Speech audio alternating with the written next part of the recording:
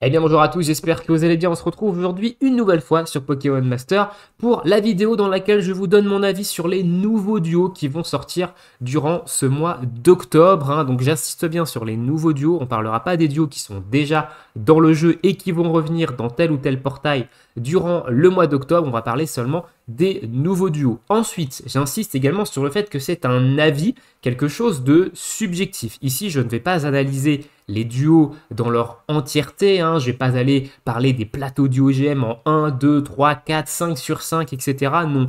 Je vais simplement lire le kit du duo sur le papier et vous dire si je trouve le kit intéressant ou non, et si le duo m'intéresse en termes euh, pour ma box ou non, et si je compte invoquer ou non sur ce duo. Voilà, je ne vais pas vous diriger dans vos invocations, vous invoquez sur ce que vous avez envie. Hein, je suis personne pour vous dire invoquez là, n'invoquez pas là. Voilà, on joue chacun au jeu, au jeu vidéo, pas de la même manière, hein, évidemment.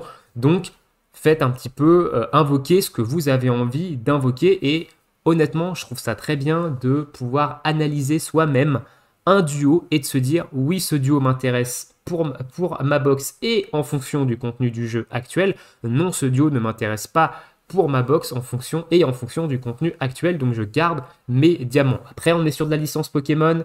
Il y en a beaucoup qui jouent à Pokémon pour la hype. Donc évidemment, ils ont des Pokémon de cœur, ils ont des duos de cœur, etc. C'est pas mon cas. hein. Moi, euh, la licence Pokémon, au-delà de la première génération, je n'y connais absolument rien. Moi, je joue au jeu parce que j'aime bien son gameplay. Voilà, mais absolument pas pour, pour la licence. Demain, vous me sortez un jeu avec le même gameplay qui est sous licence Dragon Ball, Pokémon Master, il y a de très fortes chances que j'arrête. Voilà, c'est surtout euh, pour ça que je joue. Allez, bref, trêve de blabla, on va parler du coup de ces duos. Donc je mettrai des timecodes dans la, description comme à chaque fois si vous voulez passer d'un avis à l'autre sur tel ou tel duo. On va commencer par Lucia et Clamiral, forme de Isui. Donc le premier duo festival qui va sortir dans le jeu. Donc c'est un régisseur, hein, je rappelle, les euh, régisseurs, leur capacité 6x, quand ils vont faire une capacité duo, avant la capacité duo, ils vont poser une zone de leur type et après la capacité duo, il vont prolonger la durée de cette zone. Voilà, il a un rôle X attaquant physique, donc sa, capacité duo, si vous lui mettez le rôle X, elle va taper tout le monde.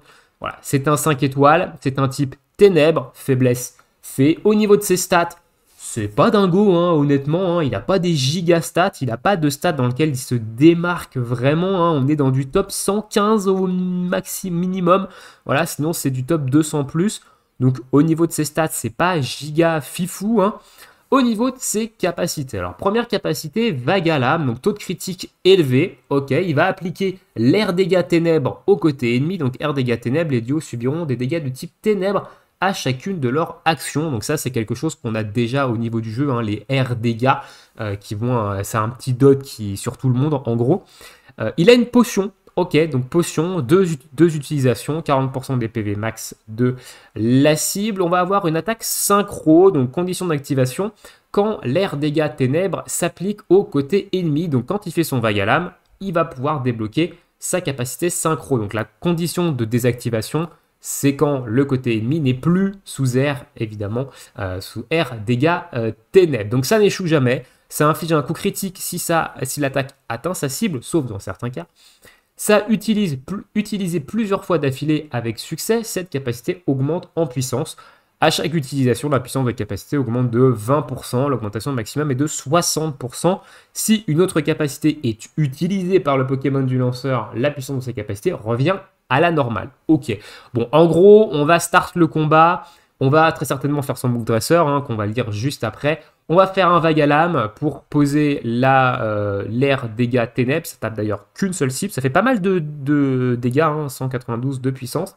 Et ensuite, on va spammer la vague à l'âme d'une euh, collègue aguerrie. Voilà, qui elle va augmenter en puissance à chaque fois que vous la faites. Et dès que vous allez remettre la R dégâts, vous allez repartir, etc. Ok, bon, il a un gameplay qui va tourner comme ça. Très bien. Les, euh, nos liens sont forts. Il va transformer la zone en zone ténèbres. Donc ça, c'est très intéressant. Une zone ténèbre renforce les attaques de type ténèbres. Ok, donc il va augmenter sa vitesse, euh, la vitesse d'un allié de 4. Donc très certainement, on va le mettre sur lui. Et il va augmenter l'effet boost prochain capacité physique et boost prochain capacité spéciale d'un allié euh, de 2. Voilà, donc c'est un allié, ça peut très bien être lancé sur lui, je suppose également. Donc, why not? Donc c'est un poseur de zone ténèbres. Donc ça, c'est intéressant, sachant que c'est un régisseur, donc il va pouvoir reposer la zone ténèbres si vous faites une capacité duo avec lui. Donc pourquoi pas? Honnêtement, euh, si j'avais pas de Pokémon qui allait, euh, de duo qui posait la zone ténèbres, j'aurais peut-être essayé d'aller récupérer ce duo. Maintenant, personnellement, j'ai Amphinobie, hein, j'ai euh, l'Amphinobie de je sais plus quel néomètre qui pose zone ténèbres et qui peut également poser la pluie. Donc là, comme ça, ce duo-là, je vais le skip. À titre perso, euh, je vais le skip, mais c'est vrai que les zones, c'est quelque chose d'intéressant, ça augmente vraiment beaucoup vos dégâts, et euh, moi je joue beaucoup avec les météos et les zones maintenant en combat des maîtres, et je vois quand même bien la différence au niveau des euh, dégâts. Donc la capacité duo, c'est, elle a aucun effet additionnel, ok, donc là ils nous mettent évidemment le rôle X et le rôle 6X, et au niveau de ses passifs, donc lumière du corps des chercheurs, donc tous les effets suivants s'appliquent la première fois que le lanceur arrive au combat à chaque combat. Donc il va réduire de 1 le nombre de capacités nécessaires pour lancer une capacité duo. ok il va augmenter son attaque physique de 4 et son taux de critique de 3. ok donc il passe pas à 6 euh, d'attaque physique. Donc il faudra lui mettre un petit push euh, d'attaque. Alors peut-être que ça change avec le plateau Duogem, ça, mais là sur le papier, il lui manque quand même 2 rangs pour être au maximum. Intro turbo équipe, il va appliquer l'effet accélération de jauge au côté allié la première fois que le lanceur arrive au combat. Donc ça c'est bien honnêtement. Alors, c'est bien, oui et non, parce que, en gros, en général, en début de combat, on va surtout se buff. Donc, on va surtout utiliser des capacités dresseurs, etc. Donc, en général, on perd du temps sur cette augmentation de jauge et on, et on stack un peu en segments. Donc, voilà, ça c'est bien de mettre une accélération de jauge quand on a fini de se buff, comme ça on enchaîne les skills, etc. Mais, euh, mais ok, mais pourquoi pas? À la limite, pourquoi pas? Et il a un puissance critique 2, ok, donc augmentation des dégâts des coups critiques. Ok, bon, duo intéressant. Honnêtement, sur le papier, la zone ténèbres, il va sûrement faire de très bons dégâts hein, au vu de, la puissance de ses capacités. Hein. Mais à titre perso, j'en regrette pas dessus parce que j'ai déjà un duo en ténèbres qui pose la zone ténèbres et j'ai déjà une très bonne team ténèbres j'ai pas besoin de up pour, euh, l'instant. Mais sur le papier, ok, duo, ok, Lucia et Clamiral. On passe maintenant à l'autre duo festival du coup de cette, euh, eh ce mois d'octobre. Hein. on va passer à Aurel et euh, Archiduc. Donc c'est un accélérateur hein, avec un Rolex de attaquant physique, donc accélérateur, je le rappelle, le, le X d'un accélérateur, c'est quand il fait une capacité duo, il réduit de 3 le compteur de la prochaine capacité duo, donc au lieu de, vous, euh, de retourner à 9 au niveau du compteur, vous passez à 6 après sa capacité duo, donc c'est intéressant, ça permet d'enchaîner deux capacités duo assez vite. Maintenant, c'est vrai qu'on préfère quand même capacité duo avec un support en premier, mais si c'est un combat long, comme une bataille légendaire, ça peut être cool d'avoir un, accélérateur. Donc c'est un type combat faiblesse vol. Au niveau de ses stats, eh ben, il démarre quand même pas mal par son attaque physique. Hein. On voit qu'il est 12e, donc c'est plutôt cool. Il a également une bonne vitesse, 48 euh, en termes de rang. Donc ok, pourquoi pas. Euh, pool HP intéressant pour un, euh, pour un accélérateur. Alors, c'est pas un attaquant, c'est un accélérateur, c'est un peu un espèce de sub DPS, mais, euh, mais pool HP intéressant quand même, 145e au niveau des rangs. Donc, ça, c'est statistique niveau 50, hein. attention, il faut le prendre en compte.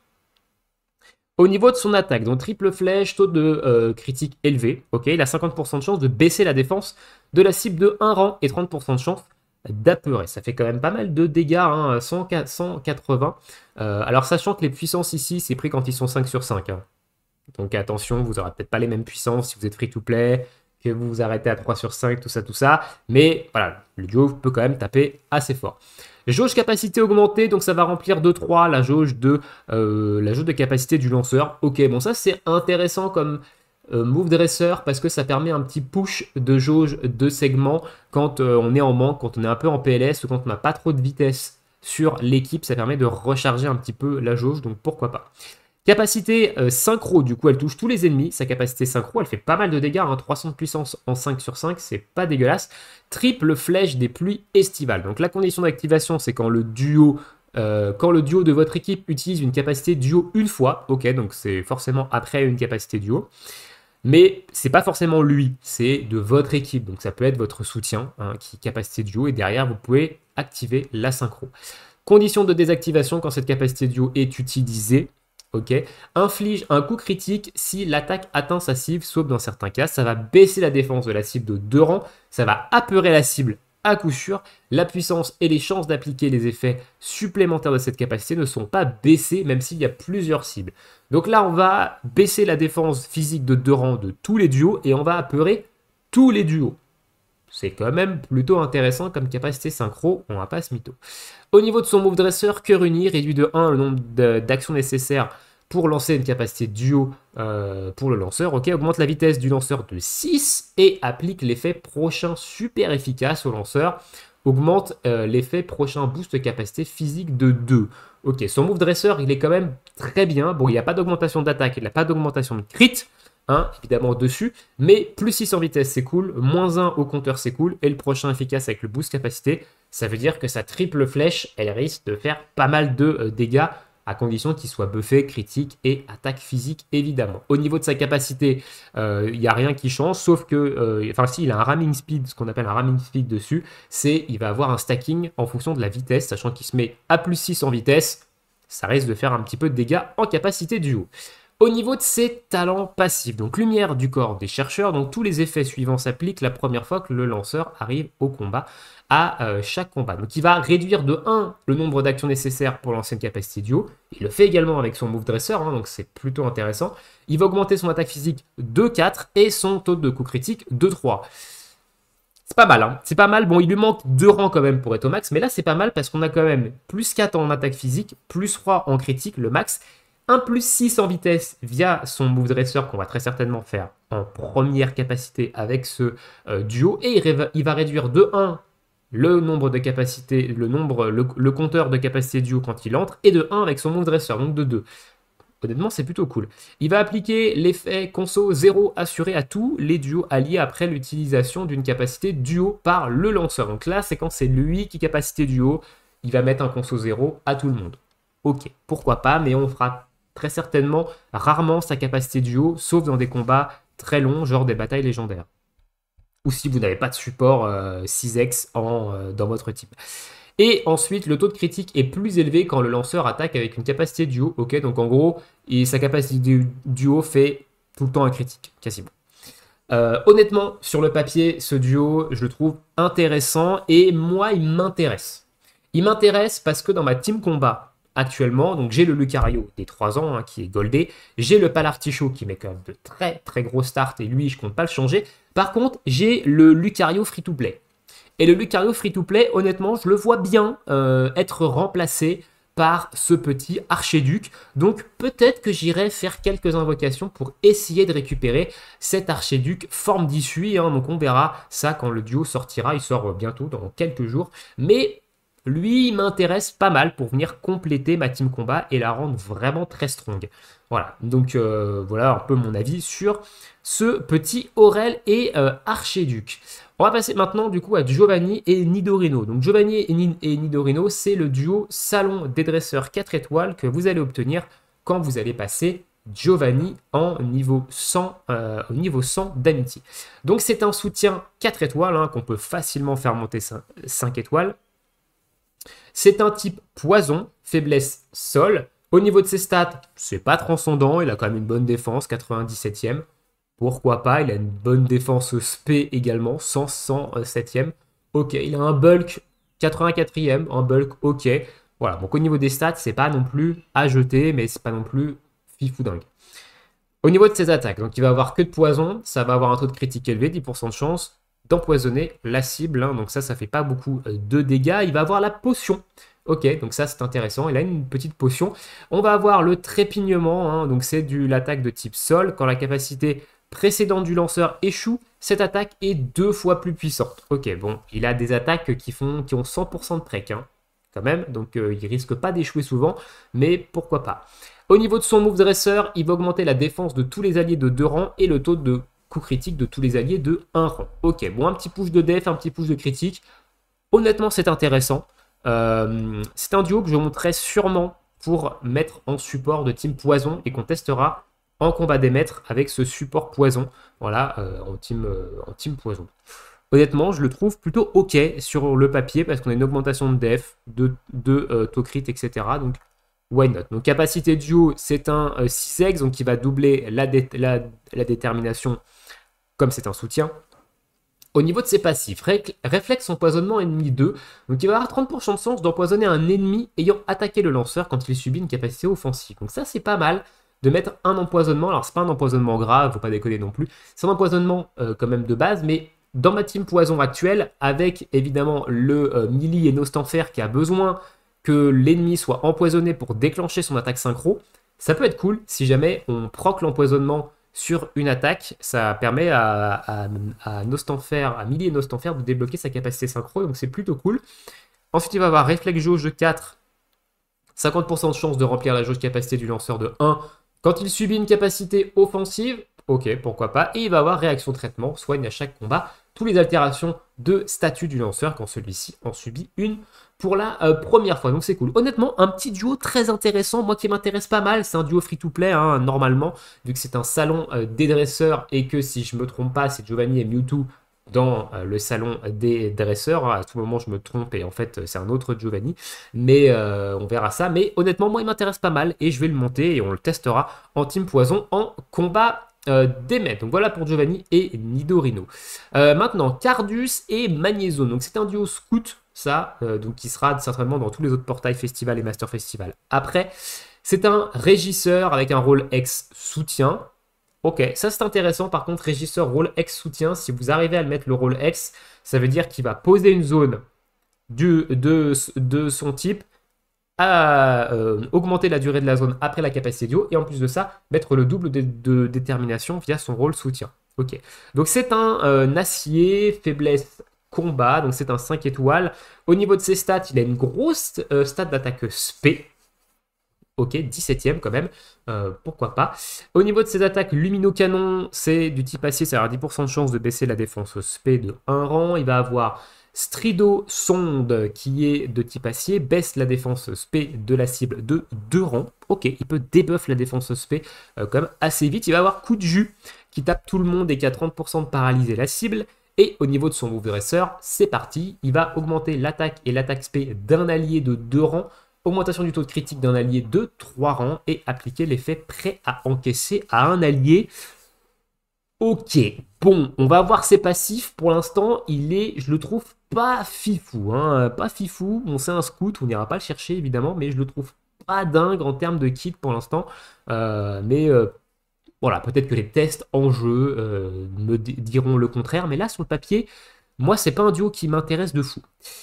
Analyste de l'usine, donc ça va augmenter la puissance des capacités de tous les duos alliés en attaquant une cible qui est sous l'effet carcan. Ok, applique l'effet carcan à la cible quand le lanceur utilise avec succès une capacité offensive contre elle.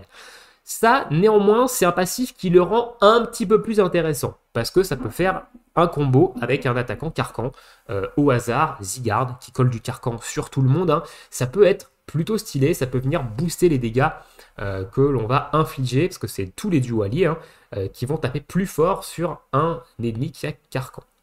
Euh, carcan ennemi, euh, ok, implique l'effet conso 0 assuré au lanceur quand il utilise avec succès une capacité offensive contre un ennemi sous l'effet carcan. Ok, donc potentiellement il ne coûte aucun segment. Dès que, dès que l'ennemi a euh, carcan, lui derrière, toutes ses attaques elles sont gratos. Ok, et il va appliquer l'effet prochain super efficace au lanceur quand il utilise avec succès une capacité offensive contre un ennemi sous l'effet carcan. ces passifs remontent un petit peu l'intérêt du duo quand même.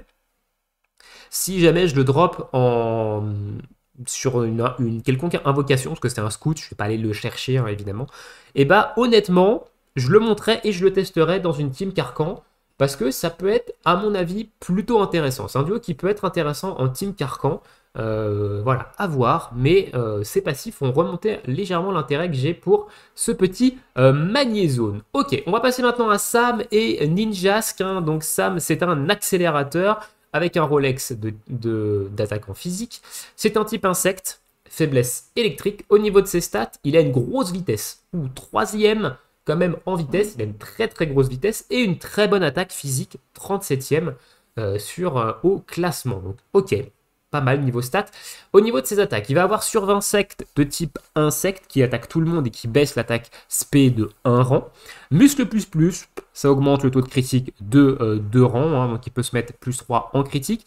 Il va avoir une capacité synchro, ok, c'est un duo scout, hein, je rappelle. Donc capacité synchro sur un duo scout, plutôt sympa. Condition d'activation, quand la vitesse du lanceur augmente jusqu'au rang maximum. hein. donc évidemment, il faut plus 6 en vitesse. Condition de désactivation, quand la vitesse du lanceur n'est pas augmentée jusqu'à son rang maximum. Ça n'échoue jamais, ça baisse la précision du lanceur de 1 rang et ça rend l'ennemi confus. Euh, 192 de patates, c'est pas dégueulasse, honnêtement, au niveau max. Euh, à voir s'il a des mécaniques pour s'augmenter sa vitesse ou s'il faut le coupler avec un duo qui augmente sa vitesse pour, euh, évidemment, derrière pouvoir spammer hein, euh, cette petite attaque synchro. Joli travail. Donc capacité dresseur réduit de 3 le nombre d'actions nécessaires pour lancer une capacité duo. C'est pas mal ça honnêtement. Euh, pour un duo scout, c'est pas mal. hein. Augmente l'attaque et l'esquive du lanceur de 2 rangs. Ok. Baisse la défense et la défense spéciale du lanceur de 3 rangs. Alors par contre, il se met un malus de def. Va falloir qu'il prenne des tartes hein, ici. euh, de moins 3 quand même. hein. Donc. Mais moins 3 au compteur, c'est pas mal hein, sur un duo scout. Euh, alors, je crois que c'est un duo scout. Attendez, juste, je vérifie quand même deux minutes que je dise pas de la giga connerie. Mais je crois que c'est un duo scout, euh, Ninja Skin. Si je dis pas de euh, conneries, oui, appel duo commun, c'est un scout. donc, ok, je, je dis pas de la merde. Euh, c'est pas mal, hein, c'est pas mal, pas mal. Au niveau de sa capacité duo, il va avoir un ramming speed dessus, hein, donc augmentation de la puissance par rapport à sa vitesse, ok. Au niveau de ses talents, donc il va augmenter la vitesse de tous les duos de deux rangs quand le lanceur utilise avec succès une capacité offensive. Ok, donc il a une mécanique pour augmenter sa vitesse. Il a également une protection contre la baisse de vitesse, il ne peut pas perdre de vitesse, et il va baisser l'attaque de la cible de un rang quand le lanceur utilise avec succès une capacité offensive contre elle. Ok, honnêtement, alors c'est un duo scout, j'irai pas le chercher, mais il est très intéressant en termes de type insecte. Il va pouvoir, au début, on va spammer sur 20 insectes, hein, on va baisser l'attaque SP de 1 et on va baisser l'attaque également de 1, ce qui va nous booster notre vitesse de 2 sur tout le monde. Au bout de 3 sur 20 insectes, on va pouvoir derrière faire du play-croix, du euh, ninja qui va taper plutôt fort, hein, qui n'échoue jamais, qui va baisser la précision, etc. Son move dresseur est également intéressant, moins 3 au compteur, hein, donc c'est plutôt stylé. Ok, il lui manque un petit bout d'attaque, hein, il peut se booster que de 2 en attaque, donc il faudra quand même le mettre avec un duo qui booste un peu la défense, évidemment, pour euh, euh, contrecarrer son malus, et booster son attaque à plus 6. Il peut s'auto-boost en critique également, donc pas dégueulasse. Pas dégueulasse, hein, le petit ninjasque, à voir au niveau de son plateau, ce que ça peut donner, etc. Comme j'ai dit, on parle pas de plateau duo, euh, duo- duogène dans, cette vidéo, c'est juste sur le papier. Ok, Euh, on passe façon au duo saisonnier, hein, à savoir Spectra et euh, tu tant qu'à faire, hein, qu'est-ce que t'en as à faire? Rôle, soutien, Rolex, tacticien, 5 étoiles de type Spectre, faiblesse, ténèbres. Au niveau de ses stats, bonne défense SP, un bulk intéressant, bonne défense également, PV c'est ok, pourquoi pas. Euh, au niveau de ses compétences, il va avoir griffe d'ombre, hein, donc ça va avoir un taux de critique élevé, ça va être de type ombre, ça ne fait pas beaucoup de dégâts par contre. Une potion, ok. Il va avoir hanté, donc le lanceur commence à hanter, après un certain temps, le lanceur cesse de hanter et attaque. Le lanceur ne peut rien faire d'autre lorsqu'il lance euh, hante. Et quand il lance hantise, du coup, la plupart des capacités ennemies ne peuvent pas toucher le lanceur quand il hante si le lanceur subit des dégâts. Une capacité duo ou Dynamax, il euh, la hantise cesse. Donc ça c'est intéressant parce que c'est utilisable trois fois, ça coûte pas de segment. Et potentiellement, vu que c'est un soutien, c'est lui que vous allez mettre en première ligne qui va forcément prendre les dégâts. Sauf que là, avec hantise, ça annule des dégâts ennemis. Donc honnêtement, c'est ok. Ça, c'est plutôt, un- cool. Move Dresser, c'est vivant ici, hein, donc applique l'effet anti-baisse de stats côté allié, augmente la défense et la défense paix de tous les duos de 4 ans. Ok. Bon, pas mal, honnêtement pas mal hein, euh, le kit pour un soutien, le fait d'avoir hantise, du boost de euh, défense et de la pote, c'est plutôt intéressant. Capacité duo, évidemment rien de spécial, sauf qu'il va venir booster en fait le, euh, la détermination de deux rangs, et il a un Rolex tacticien, si vous lui mettez son Rolex, les dégâts vont être augmentés de 50%. Bon, sur un soutien, euh, c'est pas folichon. hein. Honnêtement, les, leurs capacités duo font pas non plus des giga dégâts. Donc, ok. Au niveau de ses talents passifs, ignore l'augmentation de l'attaque et de l'attaque SP de l'ennemi quand le lanceur subit une capacité offensive, sauf dans certains cas. C'est fort ça. Ça c'est très fort, ça veut dire que le lanceur il peut être à plus 6 en attaque, à plus 6 en, attaque, en attaque SP, son attaque, elle, sera comptée comme s'il avait 0 d'attaque et d'attaque speed, enfin plus 0 du moins, euh, de base. Ok, c'est pas mal ça comme passif défensif, honnêtement, c'est plutôt fort. Euh, augmente l'attaque et l'attaque SP de tous les duos de 1 rang quand le lanceur est utilisé avec succès de capacité offensive. Ok, bon, c'est un rang, ça fait un petit push quand même, sachant qu'il augmente la défense de 4, pourquoi pas. Et il est protégé contre les coups critiques. Écoutez, sur le papier, ce duo, il est quand même intéressant. Il est très intéressant en support spectre. Hein. Maintenant, maintenant, maintenant, c'est un duo saisonnier. C'est un duo saisonnier, moi j'irai pas invoquer, j'invoque pas sur les portails saisonniers, c'est du 7% de euh, taux de drop, hein, donc j'irai pas invoquer, mais, euh, mais le kit est intéressant. Le kit est cool. Euh, donc, ouais, ok, pourquoi pas, le kit est cool, mais moi, c'est un giga skip. Avant-dernier duo, du coup, de ce mois d'octobre, hein, Roxane, saison 2023, et euh, tu t'es écrit, voilà, donc c'est le duo dans la vidéo précédente, j'ai dit, qu'est-ce que c'est que ce truc, qu'est-ce qu'ils ont fumé chez Pokémon quand ils ont créé ce duo, what the fuck, qu'est-ce que c'est que ce machin? Qu'est-ce que c'est que ce truc? Ils avaient plus d'idées, je crois. ok. Rôle tacticien, Rolex attaquant physique. Donc c'est un 5 étoiles de type sol, faiblesse spectre. Il a une bonne attaque physique, 32e hein, quand même au niveau de l'attaque physique, ce qui, est, euh, ce qui est pas mal. Au niveau de ses attaques tourbissables, dégâts de type roche, ça ligote la cible. Peu de puissance et une précision de 85, donc ça peut rater. Omni attaque plus augmente l'attaque de tous les duos de 2 rangs. Pied Tissol dans la rancune. Donc attaque synchro hein, avec une condition d'activation quand au moins un Pokémon ligoté se trouve du côté ennemi. Ok, donc ça se déclenche directement après un tourbissable. Condition de désactivation quand plus aucun Pokémon ligoté ne se trouve côté ennemi. Ça va baisser la défense et la vitesse de 1 rang. Ça va augmenter la défense et la vitesse de 1 rang de tous les duos alliés et ça tape tous les duos ennemis. Ok, il n'y a pas de limite d'utilisation, donc on peut le spam. Ok, donc dégâts en zone, baisse de stats, augmentation du stat du côté allié, c'est pas mal, non? Euh, Move Dresser, le mystère est résolu, applique l'effet accélération, jauge capacité au côté allié, augmente le taux de coup critique du lanceur de 3 rangs et augmente la précision de tous les duos de 2 rangs. Ok, donc lui ça lui met 2 de précis, donc ça pallie au 85 de précis de son tourbissable. Ok, au niveau de sa capacité, du coup, duo, il a une augmentation de dégâts sur les cibles ligotées.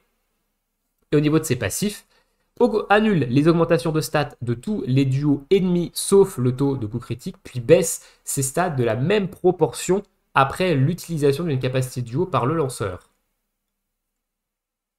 Ok, je comprends pas trop ce passif, j'ai l'impression que c'est pas fou. Sur le papier, annule les augmentations de stats de tous les duos ennemis sauf le taux de coup critique. Donc ça, c'est euh, stylé. Hein Puis, ça baisse ses stats de la même proportion après l'utilisation d'une capacité duo par le lanceur. Ok, ah, c'est sur une capacité duo. Ok, donc quand il fait une capacité duo, il va, mettre il va annuler en fait toutes les stats du côté ennemi, sauf les taux de coup critique. Et derrière, il va se mettre le euh, négatif de tout ce qu'il a annulé. Ok, bon, why not?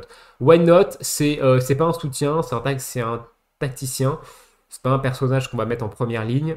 Pourquoi pas? Bon, après, grosse baisse de stats, hein. grosse annulation de tous les duos, euh, c'est assez fort. Mais derrière, tu te prends tous les malus dans la, euh, bouche, donc pourquoi pas? Ok. Euh, comme passif. Alors, augmente la puissance des capacités de tous les duos alliés en attaquant une cible ligotée. Donc, c'est tous les duos alliés. Donc, pourquoi pas dans une team ligotage. Sympa. Applique le même changement de statut à tous les duos ennemis quand le lanceur applique un changement de statut à un adversaire avec les, euh, avec les effets additionnels d'une capacité. Ok, bon, en gros, il met ligotage sur tout le monde. Voilà. En gros, quand il fait un tourbissable, il met du ligotage.